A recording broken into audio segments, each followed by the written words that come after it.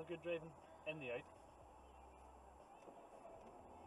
Like, if you went that way, why didn't you just go down and go in uh, properly? Taking that 20 feet.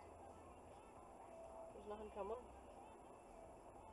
That'll be one on YouTube.